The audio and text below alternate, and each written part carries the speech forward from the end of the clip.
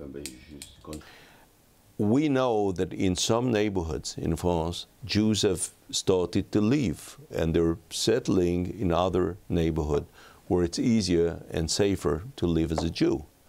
And these movements of population, added to the movements of population of Jews leaving France to go to Israel, but not only, some that go to England, to, to the US, to Eastern Asia, and showed that the Jewish community in France is, uh, is responding to these threats and to these, um, these uh, anti Semitic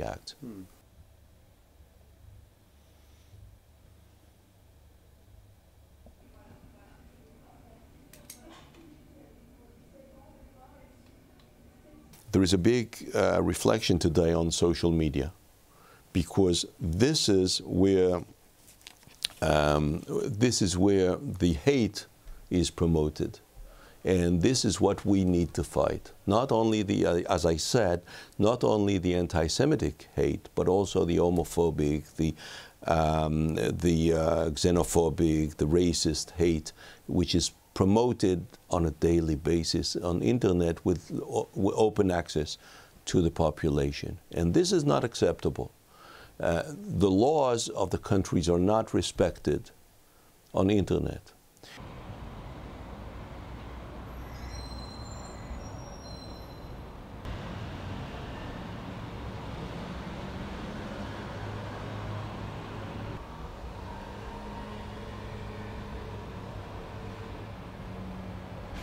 Dans la mine, c'est que c'est la mine qui est condamnée. En réalité, euh, c'est révélateur d'une problématique.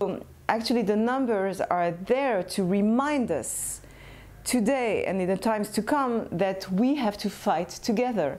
Anti Semitism is not a Jewish problem. It's not the problem of the Jewish community, wherever it might be, wherever Jews might live. It's the nation's problem. It's everyone's problem, everyone's issue. Because actually, each time there is an anti Semitic wave, it's simply the sign or the testimony, the witness of a larger crisis that the nation is experimenting. pour la communauté juive et les juifs, où qu'ils soient, mais euh, c'est une question qui en réalité euh, Anti Semitic discourse never experienced coherence. You know, along history, Jews were accused of being too rich and too poor, to have too much power or not to have any power and, and to live by the state. They were accused of being too Bolshevik or to be too capitalist, and they were accused to be too feminist or to invent patriarchy. You know, you can, all the accusation against Jews along history had this particularity that we accuse Jews of being something and the contrary. So we need to pay attention. There is no coherence. There is simply a fight we need to struggle, a wrestle that awaits us as citizens, as yeah, people committed to our communities, to our nations. En fait, il y a cette image qui a souvent été utilisée pour les juifs, qui sont les canaris dans la mine, c'est que quand on s'en prend aux juifs, Moi, depuis des années, je réponds à la question euh, euh, sur le ressenti de la communauté juive ou des juifs de France, mais en réalité, euh, la question, ne concerne pas les juifs. C'est pas aux juifs de répondre euh, ou de parer à l'antisémitisme. L'antisémitisme n'est pas un problème des juifs, c'est un problème de la nation, c'est un problème humain, c'est un problème international. C'est un problème sur lequel on a le devoir de tous se pencher, parce qu'en réalité, encore une fois, quand on frappe des juifs, c'est que quelque chose va mal dans la société.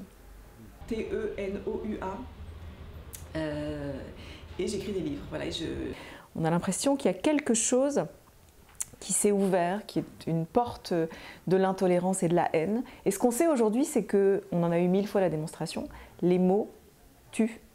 C'est-à-dire qu'on commence par utiliser des mots, et très rapidement, ça se transforme en actes. Il y a très exactement un an qui s'est écoulé entre euh, Charlottesville et Pittsburgh, entre ce moment où on dit les Juifs ne nous remplaceront pas, dans une certaine extrême droite, et le moment où un de ses représentants, en tout cas un de ses militants, entre dans une synagogue pour euh, assassiner euh, des hommes et des femmes en prière.